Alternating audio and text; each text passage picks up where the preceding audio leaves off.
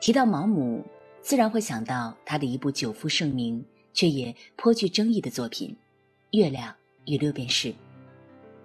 在这部小说里，毛姆为我们塑造了一个打破世俗价值观念，甚至是挑战道德底线的人物——斯特里克兰德。人到中年的斯特里克兰德本来是有名的证券经纪人，他有着别人艳羡的，甚至是一生都无法企及的地位。财富以及幸福的婚姻，可是有一天，他毅然决然地丢弃了这一切，躲到一个破旧的屋子里，开始他的绘画梦想。但是更加让人无法理解的是，在这之前，他根本就没有画过画。此后，他的生活几乎是一团糟，他霸占了朋友的住处，还和朋友的妻子布兰奇发生了不正当的男女关系。最后导致布兰奇自杀身亡。斯特里克兰德极其冷酷地抛弃妻子，又极其极端的执拗地扎入旁人所无法理解的那种生活状态，让人觉得他就是一个自私冷漠、狂放不羁、令人生厌的疯子。那今天我们要说的也是一个疯子式的人物，在小说《刀锋》里面。毛姆塑造的主人公拉里，则是陷入了另一种疯狂的状态。一战期间，拉里去当了飞行员。当他看到战争的残酷、亲历朋友的离去，他突然不知道活着到底是为了什么。他陷入了一种困顿又迷茫的状态。与斯特里克兰德用绘画梦想指引生活不同的是。拉里并不知道支撑自己活下去的到底是什么，但是他唯一确信的是，庸长的婚姻、虚无的物质并不能够给他带来宽慰。于是，他带着对于人生的疑惑，试图在精神领域寻找答案。在这种主动找寻的过程当中，拉里和斯特里克兰德有着相似的地方。拉里也抛弃了。在他看来无用的东西，他放弃了和伊莎贝尔的婚约，放弃了人们崇尚的物质财富。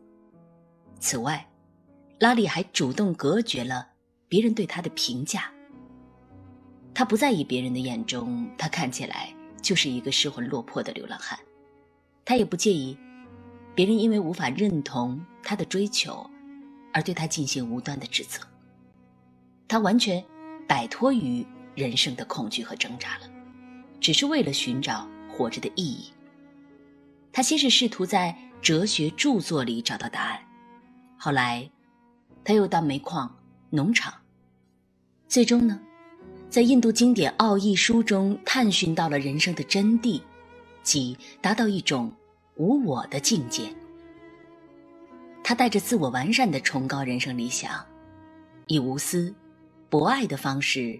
生活了下去，他竭尽全力地帮助身边的弱者，最终选择散尽家产，成为一个普通的出租车司机，度过余生。可以说，无论是斯特里克兰德还是拉里，他们的身上都有着某种我们无法超越的执念。即便斯特里克兰德的偏激自私被人所诟病，但是。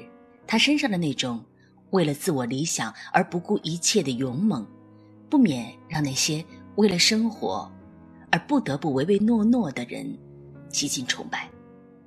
而拉里的选择，更是成为很多深陷世俗桎梏、被精神困境横绕之人所向往的一种理想化的生活方式。不得不说，斯特里克兰德就像是一只。浑身带刺的刺猬。他放弃世俗生活，追逐梦想，却也伤害了身边的人。而相比之下，拉里的疯狂是基于对他人的宽容，是一种可以让我们变得更加圆融的生活态度。在《刀锋》里面，毛姆告诉我们，叛逆并不是一个贬义词，至少在拉里身上。毛姆一直毫不吝啬地用各种词汇赞美他的叛逆，虽然拉里选择离开伊莎贝尔，但那是因为他知道伊莎贝尔想要的生活自己给不了，而能够让伊莎贝尔幸福的只有格雷。所以，拉里主动退出，以成全伊莎贝尔对幸福的追逐。甚至，拉里所有的叛逆，所有不合世俗的做法，都完全是无我而利他的。无论是对于强者还是弱者，对于相识的还是陌生人，拉里都带着源自同情和善意的博爱。他的叛逆的终极，是做一个无私的解救者，去解救他生命中遇见的每个人。当他遇到以做模特和情人为生的苏珊，看到苏珊因为重病而无法工作、无法生存时，拉里把苏珊。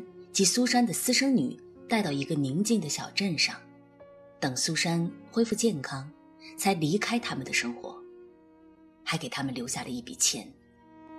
拉里不顾所有人的反对，去帮助失去丈夫和孩子后自甘堕落的索菲。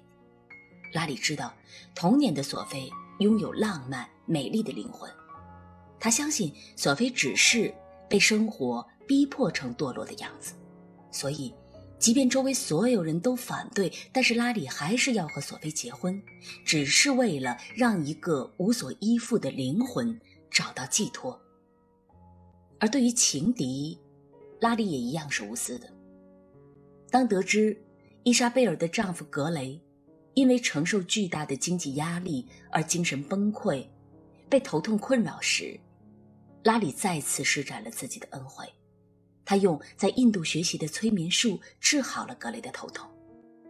拉里只是把每个人看成是生命的载体，解救身体或者精神陷入痛苦中的每个人，而这种解救他人的过程，也让他找到了自己存在的价值，找到了生活下去的意义。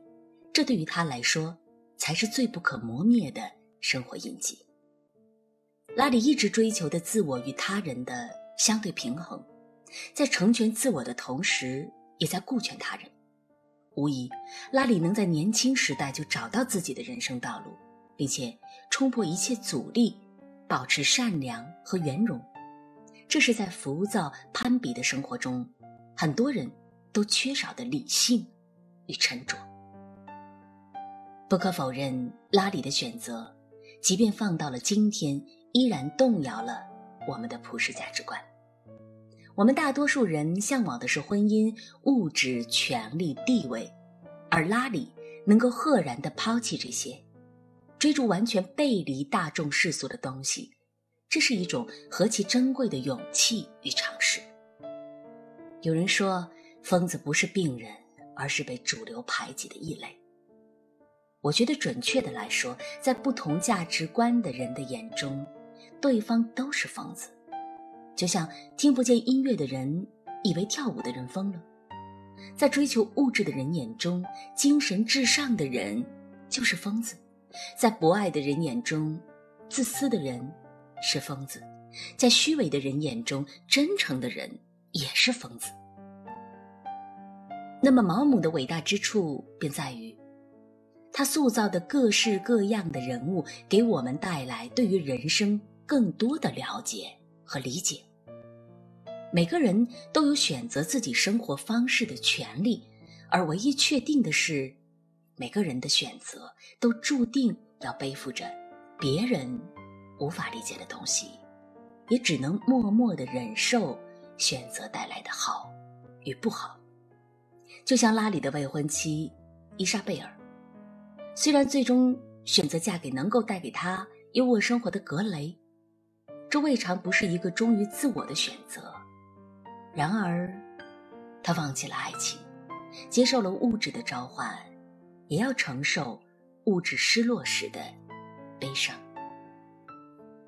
伊莎贝尔的丈夫格雷，按照父辈的规划成就事业，就像生活中每个追求事业有成、婚姻幸福的中年男人一样，这本无可厚非，但是。他也必须承受因为经济危机的影响而对金钱求而不得的痛苦。还有伊莎贝尔的舅舅艾略特，他仰慕上流社会，依靠权谋手腕讨得上流社会体面人士的欢心而活着。纵然夹杂着虚伪和虚荣，但这也是他的生活选择。当然，他也承受着不被别人仰视而带来的自卑和苦楚。所以，我们看到，每个人都以自己喜欢的或者是向往的生活方式在活着，也都承受着生命赌注带来的得与失。或许。我们每个人的内心都有着太多的不舍与牵绊，我们内心里住着的那个疯子也一直被压制着。如果不是被某种看似约定成俗的标准所定义着，如果可以义无反顾地倾听自己内心的呼唤，那么或许我们都可以痛痛快快地做一回疯子。其实生活就是这样，在我们不得不做出取舍的时候。你想要什么样的生活，就选择什么样的生活。我们都不该被非黑即白的正确或者错误、高尚或者无私来定义，不是吗？所以今天想和各位讨论的话题是：面对不同的人生追逐，你能够勇敢的做一回疯子吗？欢迎各位在评论区里给我留言。